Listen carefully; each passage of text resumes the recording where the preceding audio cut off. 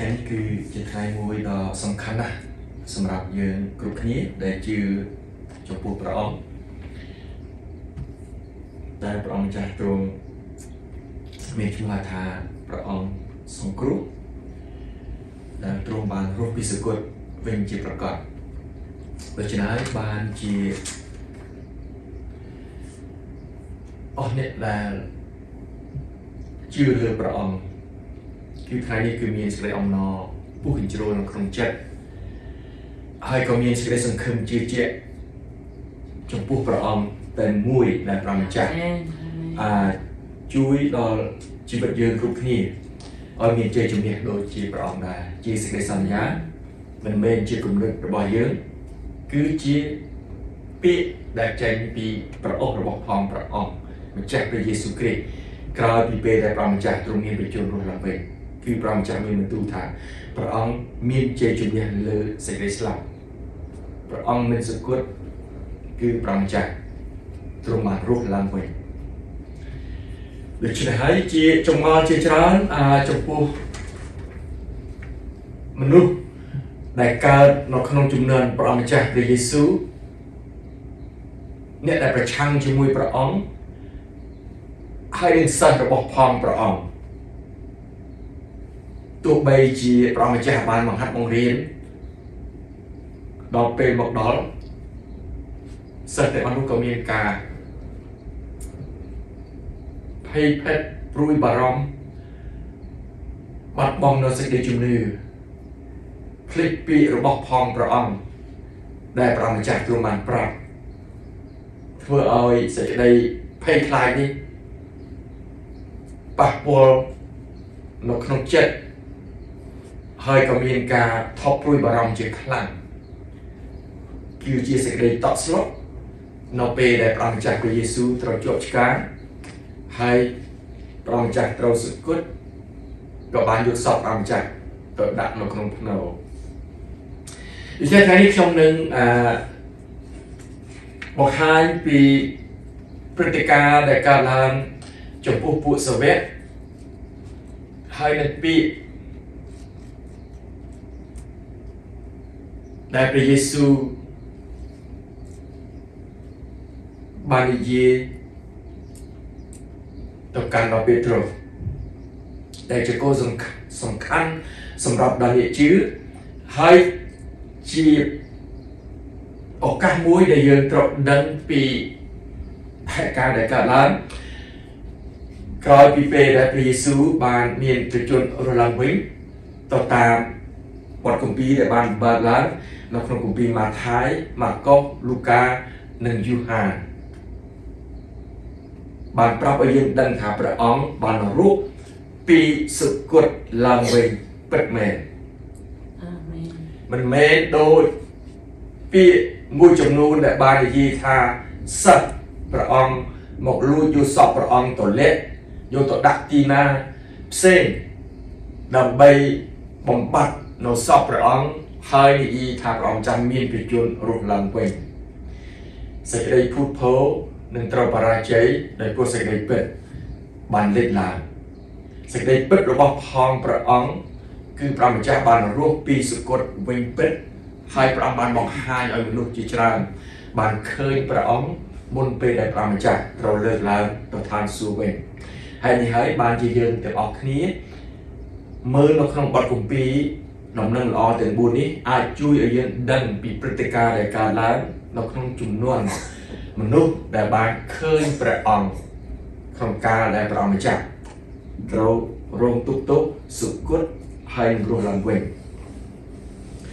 ខាងនេះសូមឲ្យបងប្អូនទាំងអស់គ្នាបាននឹកចាំពីសាវកពេត្រុសដែលយើងទាំងអស់គ្នាបានរៀននៅក្នុងបទគម្ពីរហើយយើងទាំងអស់គ្នាបានដឹងជាប្រកប ថាសាវកពេត្រុសបានប្រកែក3ដងថាមិនស្គាល់ព្រះអង្គម្ចាស់ព្រះយេស៊ូវគ្រីស្ទរហូតដល់មុនរងាវទើបគាត់បានដឹងខ្លួននៅអ្វីអ្វីដែលព្រះយេស៊ូវបានប្រាប់មុនហេតុការណ៍នេះបានកើតឡើងសាវកពេត្រុសគាត់បានសាងភាព គាត់បានលន់ទូគាត់មានការខកចិត្តយ៉ាងខ្លាំងចំពោះពាក្យដែលគាត់ថាមិនស្គាល់ព្រះយេស៊ូវភាពសោកស្ដាយការភ័យតក់ស្លុតជំរុញឲ្យគាត់និយាយពាក្យនេះពីព្រោះជារឿងជីវិត ជាភាពធ្ងន់ធ្ងរដែលមនុស្សត្រូវមានការតក់ស្លុតបើហេតុការអ្វីកើតប៉ះពាល់ដល់ជីវិតរឿងតិចតួចយើងអាចទប់ទល់បានអាចដោះស្រាយបានប៉ុន្តែបញ្ហាជីវិតគឺតក់ស្លុតយ៉ាងក្រៃលែងរហូតដល់ឲ្យពេត្រុសប្រកែកមុនពេលដែលពេត្រុសប្រកែកពេត្រុសបានអះអាងថាស៊ូស្លាប់រស់ជាមួយព្រះអង្គអាមែនពេត្រុសបាន មានសេចក្តីមួយជឿជាក់ពិតប្រាកដថាគាត់ស្រឡាញ់ព្រះអង្គណាស់គាត់ស៊ូស្លាប់មិនអោយព្រះអង្គសគត់ទេគាត់ស៊ូស្លាប់បើមានការអ្វីកើតឡើងតែដល់ពេលវេលាមកដល់ភាពតក់ស្លុតដែលប៉ះនៅក្នុងជីវិតគាត់ធ្វើឲ្យគាត់ប្រកែកដោយព្រោះឃើញគេចាប់ព្រះយេស៊ូវយកទៅពីដំដែលឃើញគេយកព្រះយេស៊ូវទៅធ្វើគាត់គាត់ដឹងថា ជាការមួយដែលធ្វើឲ្យមានការឈឺចាប់យ៉ាងក្រៃលែងដូច្នេះយើងឃើញព្រឹត្តិការណ៍បានកើតឡើងចំពោះសាវកពេត្រុសដែលបានប្រកែកនេះគឺព្រះយេស៊ូវបានប្រាប់រួចជាមុនមនុស្សយើងគឺមានការភ្លេចនៅពេលណាដែលយើងភ័យខ្លាំងរហូតដល់យើងគិតអ្វីមិនមិនបានទាំងអស់ចឹងហើយគាត់ប្រកែកអត់ស្គាល់ព្រះអង្គបីដងមិនរងាវ តាមកំណត់ដែលព្រះយេស៊ូវបានប្រាប់សាវកពេត្រុសដឹងលន់ទូសារភាពជាមួយនឹងព្រះអស់ពីក្នុងជំរងចិត្តយ៉ាងណាក៏ដោយហាក់ដូចជាខ្លួនដាច់ឆ្ងាយពីព្រះអង្គដាច់ឆ្ងាយទំនាក់ទំនងពីព្រះអង្គម្ចាស់ព្រះយេស៊ូវការលន់តួការសារភាពអស់ពីចិត្តក៏ហាក់ដូចជាមិនមានភាពជិតស្និទ្ធដោយកាលពីគ្រាដើមដែលគាត់មិនទាន់បានប្រកែកជាមួយនឹងព្រះ តើបងប្អូនមានធ្លាប់មានហេតុការណ៍នេះកើតចំពោះយើងដែរឬទេបងប្អូនខ្លះប្រហែលជាមានការពិសោធន៍នៅក្នុងដំណើរជីវិតបាទពេលខ្លះយើងគិតថាដូចជាព្រះនៅឆ្ងាយដាច់ពីយើងដោយព្រោះយើងមានបញ្ហាអ្វីកើតឡើងនៅក្នុងជីវិតដែលយើងមិនបានមានទំនាក់ទំនងជិតស្និទ្ធជាមួយនឹងព្រះអង្គ ពេលខ្លះហាក់ដូចជាចិត្តជាមួយព្រះអង្គមែនទែននៅពេលណាដែលយើងមានអំណរអសប្បាយយើងរីករាយដែលយើងបានទទួលព្រះបន្ទូលព្រះជាអាហារដល់វិញ្ញាណដែលវិញ្ញាណយើងមានកម្លាំងឡើងតតាំងជាមួយនឹងសច្ចាយើងហាក់ដូចជាចិត្តជាមួយនឹងព្រះអង្គដូច្នេះសូមពេត្រុសគាត់ពេលនេះទោះបីជាគាត់ដឹងថាព្រះអង្គអត់ទោសឲ្យគាត់ក៏ដោយគាត់ហាក់ដូចជាដាច់ឆ្ងាយពីព្រះអង្គអស់សង្ឃឹមនៅក្នុងពាក្យដែលគាត់បានប្រកាស នេះជាសេចក្តីមួយដែលបង្រៀនដល់យើងទាំងអស់គ្នាដែលយើងទាំងអស់គ្នាមិនគួរមិនគួរប្រើពាក្យដែលមិនគួរកបីទៅចំពោះព្រះអង្គឬក៏ពាក្យអសុរោះឬក៏ពាក្យអ្វីដែលធ្វើឲ្យព្រះអង្គម្ចាស់ព្រួយព្រះតីគួររក្សាពាក្យសម្ដីឲ្យបានល្អដើម្បីឲ្យយើងមានទំនាក់ទំនងកាន់តែចិត្តជាមួយនឹងព្រះអង្គរាល់ថ្ងៃ ជាលក្ខណៈមួយសម្រាប់យើងកត់សម្គាល់ពីហេតុការណ៍ដែលកើតឡើងព្រះយេស៊ូវបានអត់ទោសឲ្យសាវកពេត្រុសតែសាវកពេត្រុសហាក់ដូចជាឆ្ងាយពីព្រះអង្គម្ចាស់ដោយព្រោះកំហុសរបស់គាត់ដោយព្រោះគាត់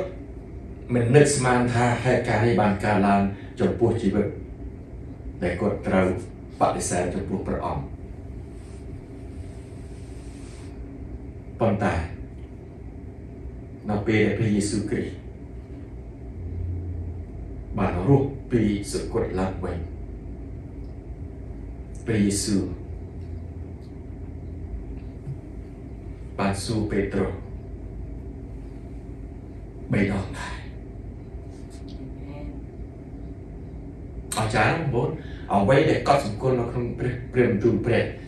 គឺមានទំនាក់ទំនង ពេត្រុសប្រកែក3ដងព្រះយេស៊ូវក៏សួរពេត្រុសវិញអស់ក្នុងគម្ពីរយូហានចំពោះ21ខ15ដល់17នោះព្រះយេស៊ូវមានបន្ទូលនឹងស៊ីម៉ូនពេត្រុសថាស៊ីម៉ូនកូនយូណាអើយតើអ្នកស្រឡាញ់ខ្ញុំជាជាងរបស់ទាំងនេះឬអីនេះជាសំណួរទី1ដែលព្រះបានសួរទៅដល់សាវកពេត្រុសគិតទូឆ្លើយថា ព្រះករុណាវិសេសព្រះអង្គម្ចាស់ទ្រង់ជ្រាបថាទូបង្គំពេញចិត្តនឹងទ្រង់ហើយទ្រង់មានបន្ទូលថាចូលឲ្យចំណៃដល់កូនជាងខ្ញុំស៊ីផងបងប្អូនកត់ចំណាំពីសំណួរទី1ហើយនឹងចម្លើយទី1តើអ្នកស្រឡាញ់ខ្ញុំជាជាងរបស់ទាំងនេះទេឬអី ហើយសម្រាប់ពេត្រុសក៏បានឆ្លើយថាគាត់ថាព្រះអង្គជ្រាបពីចិត្តរបស់គាត់ថាគាត់ពេញចិត្តនឹងព្រះអង្គណាបាទស្អីថាគាត់ស្រឡាញ់ព្រះអង្គណាព្រះអង្គថាបើស្រឡាញ់ព្រះអង្គឲ្យចំណៃដល់កូនជាងខ្ញុំស៊ីផងចំណៃដល់កូនជាងអ្នកណាកូនជាងគឺអស់អ្នកដែលជឿដល់ព្រះម្ចាស់ព្រះយេស៊ូវអ្នកដែលធ្វើតាម ព្រះម្ចាស់ព្រះយេស៊ូវអ្នកដែលធ្វើតាមព្រះបន្ទូលព្រះបានសេចក្តីថាអ្នកដែលជឿព្រះបើយើងស្រឡាញ់ព្រះអង្គបងប្អូនត្រូវយកចិត្តទុកដាក់បងប្អូនត្រូវតែមានឱកាសមានពេលដែលអាចជួយដល់កូនជាងរបស់ផងព្រះអង្គនៅពេលយើងឃើញកូនជាងដែលកំពុងតែខ្វះខាត ទី2សួរថាតើស្រឡាញ់ខ្ញុំឬអីពេត្រុសនិយាយដដែលទូបង្គំពេញចិត្តនឹងទ្រង់ហើយព្រះអង្គថាដូចម្ដេចចូលឃ្វាជាមរបស់ខ្ញុំចុះបើពេញចិត្តនឹងព្រះអង្គបើស្រឡាញ់ព្រះអង្គឃ្វាជាមរបស់ខ្ញុំចុះបងប្អូនណាឃ្វាជាមបន្ថែមទៀតដំបូងនេះគ្រាន់តែជួយទេ តែពេលឃ្វាបងប្អូនដូចម្ដេចបងប្អូនត្រូវតែ យកចិត្តទុកដាក់បងប្អូនត្រូវតែការពារបងប្អូនត្រូវតែថែរក្សាត្រូវតែឲ្យចំណៃរោគចំណីល្អល្អរោគទីកន្លែងណាដែលមានស្មៅសម្រាប់ដល់ជាងទាំងអស់ភាគច្រើនដែលយើងបានឮអ្នកដែលគ្រាជាងគឺបងប្អូនតែតែថាមកគ្រូបង្រៀនជាអ្នកគ្រាជាងបាទទាំងអស់គ្នាមានសិទ្ធិក្នុងការគ្រាជាងរបស់ព្រះអង្គ បើបងប្អូនជឿគោរពហើយធ្វើតាមព្រះបន្ទូលព្រះបងប្អូនជាអ្នកគ្រាដែរមិនមែនតែគ្រូបង្រៀនប៉ុណ្ណោះទេគ្រូបង្រៀនក៏មានមុខនេតិគាត់ជាអ្នកគ្រាហើយក៏ប៉ុន្តែបងប្អូនក៏មានមុខនេតិដូចជាគ្រូបង្រៀនដែរជួយមើលជួយដាស់តឿនជួយកែតម្រង់ជួយថែរក្សាជួយឲ្យយោបល់ដល់នៅចំណេះទៅដល់ហ្វូមជា ដែលមិនទាន់បានយល់ពីព្រះអង្គចាស់ទី3តើពេញចិត្តនឹងខ្ញុំមែនឬអីព្រះអង្គជប់សួរជប់សួរពីសេចក្តីស្រឡាញ់ហើយព្រះអង្គសួរថាតើពេញចិត្តនឹងខ្ញុំមែនឬអីពេលនេះពេត្រុសមានចិត្តព្រួយសំណួរទី3ពេត្រុសមានចិត្តព្រួយដោយព្រោះទ្រង់មានព្រះបន្ទូលគម្រប់3ដងថាតើពេញចិត្តនឹងខ្ញុំឬអី ដូច្នេះប៉ះចាក់ដោតមកក្នុងចិត្តពេត្រុសចាប់ផ្ដើមព្រួយ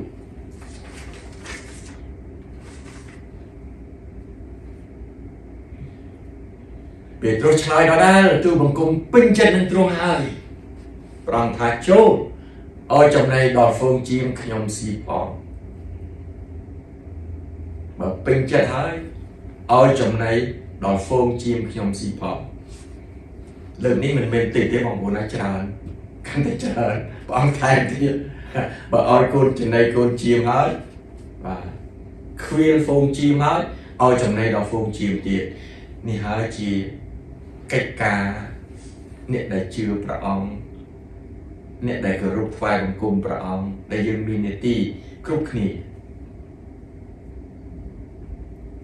តែបងប្អូនមានអារម្មណ៍ដូចម្ដេចមានគំនិតយ៉ាងដូចម្ដេចដែរហើយអ្វីបានជាព្រះអង្គសួរដល់ពេត្រុសដូច្នេះនេះគឺប៉ះពាល់មកដល់យើងគ្រប់គ្នាដែលជាអ្នកជឿព្រះអង្គជាពិតប្រកបចំពោះអង្គអ្នកជឿព្រះអង្គចាស់បាននិយាយថាខ្ញុំស្រឡាញ់ព្រះអង្គខ្ញុំពេញចិត្តនឹងព្រះអង្គបើបងប្អូនបាននិយាយពាក្យនេះ សូមកុំឲ្យពាក្យនេះរត់បាត់ចេញពីពាក្យដែលយើងបានបញ្ជាក់សូមនឹកចាំរហូតបើហ៊ាននិយាយថាខ្ញុំស្រឡាញ់ព្រះអង្គបងប្អូនប្រកាសជានឹងធ្វើកិច្ចការងារនេះជាមិនខានបងប្អូនដែលអង្គុយក្នុងបន្ទប់នេះបានធ្វើការនេះរួចទាំងអស់គ្នាមកទល់ពេលបច្ចុប្បន្នសប្តាហ៍ថ្ងៃបងប្អូនបានឲ្យចំណែកកូនជាបងប្អូនបានខ្វៀលហ្វូងជាបងប្អូនបានឲ្យចំណែកដល់ហ្វូងជា របស់ព្រះគឺជាបេសកកម្មដែលយើងបម្រើជួយដល់បងប្អូនយើងនៅស្រុកខ្មែរជាហ្វូងជាដែលយើងបានឲ្យចំណែកទៅដល់ទីនោះហើយបងប្អូនបានមើលបានប្រាប់ពីសេចក្តីស្រឡាញ់ព្រះបានប្រាប់ពីសេចក្តីល្អដែលព្រះមានមកដល់ជីវិតដែលយើងជាអ្នកជឿចំពោះព្រះអង្គដែលយើងត្រូវតែផ្លាស់ប្រែ ការជឿព្រះគឺត្រូវតែផ្លាស់ប្រែបើជឿព្រះគ្មានការផ្លាស់ប្រែទេគឺឥតន័យនៅក្នុងសេចក្តីជឿព្រះចឹងហើយបានជីវិតដែលជឿព្រះគឺបានផ្លាស់ប្រែព្រះទ្រង់ស្រឡាញ់កូនជាព្រះអង្គព្រះអង្គបានអោយចំណៃព្រះអង្គបានខ្វៀល ព្រះអង្គបានថែរក្សាព្រះអង្គម្ចាស់បានការពារព្រះអង្គបានគុតគង់ថែមទាំងប្រោះប្រណីយកប្រតិទុកដាក់ហើយកុំសាំចិត្តព្រះអង្គបានលៀងព្រះអង្គបានសម្អាតដើម្បីឲ្យអស់អ្នកដែលជឿទទួលព្រះអង្គបានទទួលសេចក្តីសង្គ្រោះពិតពីព្រះអង្គម្ចាស់អ្នកដែលជឿព្រះអង្គត្រូវបានឈ្នះលើសេចក្តីស្លាប់ ដូច្នេះព្រះអង្គដែលទ្រង់រស់ពីសគត់មុនពេលដែលព្រះអង្គម្ចាស់ត្រូវបានលើកទៅឋានសួគ៌វិញព្រះអង្គម្ចាស់បានបង្ហាត់បង្រៀនព្រះអង្គម្ចាស់បានប្រាប់ដល់សិស្សដល់ហ្វូងមនុស្សដែលបានឃើញព្រះអង្គឲ្យបានយល់ពីផ្លូវទៅកាន់នគរព្រះអ្នកដែលជឿព្រះម្ចាស់មកទល់ពេលបច្ចុប្បន្នសពថ្ងៃនេះ គឺជាអ្នកដែលរងចាំនៅសេចក្តីសន្យាចុងក្រោយបងអស់នៃព្រះដែលព្រះម្ចាស់បានសន្យាក្រោយពេលដែលព្រះម្ចាស់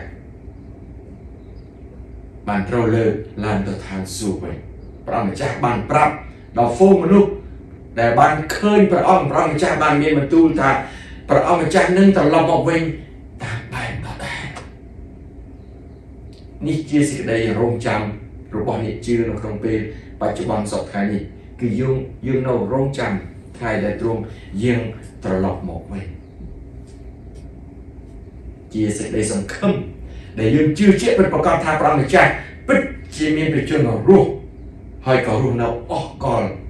ជានិច្ចព្រះនាមទ្រង់បានល្បីខ្ទោខ្ទាលើសកលលោកនេះដូច្នេះថ្ងៃនេះជាថ្ងៃដែលយើងត្រូវអសប្បាយអបអសាទរ ជាមួយនឹងបងប្អូនដែលរួមសេចក្តីជំនឿជឿជាក់ពិតប្រាកដថាព្រះឈ្នះសេចក្តីស្លាប់គ្មាននរណាមួយដែលអាចយកជ័យជំនះលើសេចក្តីស្លាប់នេះបានឡើយមានតែអង្គព្រះយេស៊ូវគ្រីស្ទមួយប៉ុណ្ណោះដែលទ្រង់មកបង្ហាញពីជ័យជំនះលើបាបពីព្រោះបាបជាអ្នកដែលធ្វើឲ្យមនុស្សត្រូវទទួលនៅសេចក្តីស្លាប់ ដូច្នេះបើព្រះម្ចាស់ទ្រង់លាងបាបយើងបើព្រះម្ចាស់ទ្រង់សម្អាតបាបយើងបាបគ្មានអំណាចលើយើងបានសេចក្តីថាសេចក្តីស្លាប់គ្មានអំណាចលើយើងទេទោះបីជាយើងចាក់ចេញពីលោកីនេះក៏ដោយព្រះទ្រង់ធានាអះអាងថានឹងឲ្យយើងបានរស់ជាមួយនឹងព្រះអង្គសេចក្តីស្លាប់ត្រូវបរាជ័យចំពោះកូនព្រះដែលពិតប្រកប កូនព្រះដែលធ្វើតាមព្រះបន្ទូលព្រះអង្គនឹងមានជ័យជំនះនៅលើសេចក្តីស្លាប់នេះព្រះម្ចាស់ទ្រង់បានរស់ពីសុគតបែបព្រះម្ចាស់ទ្រង់មានព្រះជន្មគង់នៅតាំងពីអកលរហូតដល់អកលជានិច្ចព្រះអង្គម្ចាស់ស្រឡាញ់ដល់មនុស្សលោកដែលព្រោះឃើញមនុស្សលោកត្រូវបាត់បង់បានជាព្រះចាត់ព្រះយេស៊ូវឲ្យយាងមកក្នុងលោកី ហៅថាជាបរិយាពុត្រាតែមួយជាបុតស្ងួនភ្ងាតែមួយនៃព្រះដែលព្រះអង្គអាចជួយឲ្យយើងរស់ឡើងវិញបានក្រៅពីព្រះអង្គគ្មានអ្នកណាហ៊ានអះអាងហ៊ានធានាថានឹងជួយឲ្យជីវិតយើងបានរស់ឡើងវិញបានទេគ្រាន់តែឲ្យយើងផ្សំឲ្យយើងប្រាថ្នានេះហើយជាគំនិតរបស់មនុស្សដែលយើងនៅតែវង្វេងរហូតមកទល់ពេលសប្តាហ៍នេះភាកច្រើន យាយចាស់ចាស់ក៏ប្រាថ្នាឲ្យកើតទៅជាទេវតាអត់ដឹងថាទេវតានឹងស្អីទេឃើញតែរូបគំនូឃើញដូចវាស្អាតដូចវាល្អដូចអស្ចារ្យប៉ុន្តែការពិតទេវតាជាអ្នកបម្រើទេបងប្អូនទេវតាជាអ្នកបម្រើទេអត់មានសិទ្ធិអីទាំងអស់គឺជាអ្នកបម្រើព្រះតែបើបងប្អូនជឿព្រះយេស៊ូវបងប្អូនមិនមែនជាអ្នកបម្រើព្រះយេស៊ូវទេបងប្អូនជាកូនព្រះដ៏ពេញ ហើយព្រះម្ចាស់ឲ្យយើងសោយរីឲ្យយើងមានអំណាចឲ្យយើងបានមានជីវិតអស់កលជាមួយនឹងព្រះអង្គដូច្នេះព្រះអង្គម្ចាស់មិនបានឲ្យយើងប្រាថ្នាទេនេះជាព្រះយេស៊ូវគឺគ្មានការប្រាថ្នាគ្មានការប៉ងទេ គឺជាសេចក្តីសង្ឃឹមដែលជឿជាក់ដែលចេញពីក្នុងចិត្តថាជីវិតយើងនឹងបានរស់នឹងបានរួចផុតពីបាបពីមេកំណាចនៃសេចក្តីងងឹត យើងនឹងមានជ័យជំនះលើសេចក្តីស្លាប់សេចក្តីស្លាប់គ្មានអំណាចលើយើងទៀតឡើយដូច្នេះហើយបានជាដែលជឿព្រះគ្មានសេចក្តីតក់ស្លុតចំពោះសេចក្តីស្លាប់ឡើយពីព្រោះមានព្រះមួយអង្គដែលរងចាំទទួលការពារហើយនឹងសង្គ្រោះប្រលឹងយើងឲ្យបានរស់ជាមួយនឹងព្រះអង្គដូច្នេះបើយើងឲ្យចំណៃដល់កូនជាមដល់ហ្វូងជាមរបស់ព្រះបងប្អូននឹងមានពរនៅ ក្នុងជីវិតដែលយើងរស់នៅលើលោកីនេះព្រះអង្គចង់ឲ្យយើងទាំងអស់គ្នាចេះប្រើប្រាស់ទ្រព្យសម្បត្តិដែលយើងមានសម្រាប់កូនជាមរបស់ព្រះអង្គបងប្អូនសប្តាហ៍កំពុងតែប្រើប្រាស់បងប្អូនបានថ្វាយដល់ព្រះអង្គបងប្អូនបានជួយក្នុងកិច្ចការងារព្រះអង្គនោះហើយជាមរតកដែលបងប្អូនបានសន្សំទុកនៅក្នុងនគរព្រះសូមប្រំចាំ